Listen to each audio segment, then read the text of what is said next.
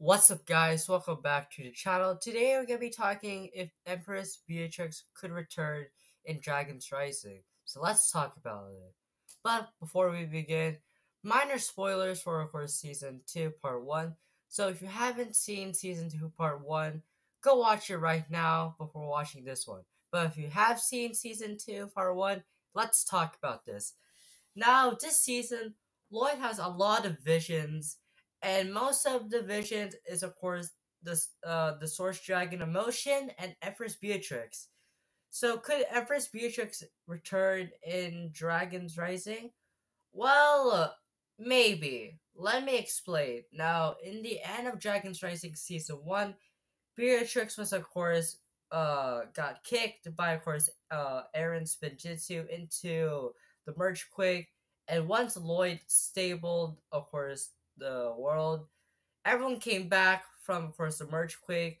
So that would mean that Beatrix didn't die, however, but she is, of course, alive and she probably survived the merge quake and she's probably into hiding somewhere, I guess, because she probably abandoned her Mac and she's probably probably in Imperium, probably he was in Ninjago, not a, yeah, in the crossroads or whatever.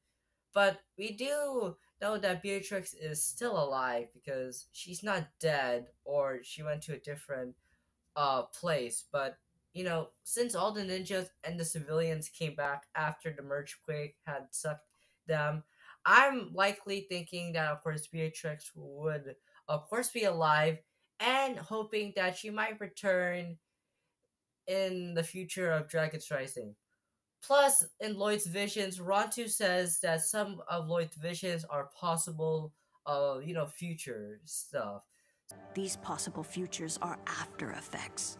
Possible futures? Source dragons experience time differently than the rest of us. They can see what came before and the things that might come to be. These visions you're having are like a fragment of that. So maybe in the future we might see Empress Beatrix and, you know, yeah, that's all that I got of, you know, if Beatrix would return. But comment down below. Do you think Empress Beatrix returns in like the future of Dragon's Rising or maybe in season 2?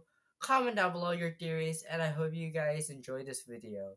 Make sure you guys subscribe, turn on notifications whenever I post a brand new video. And until then, I'll see you guys next time. Bye.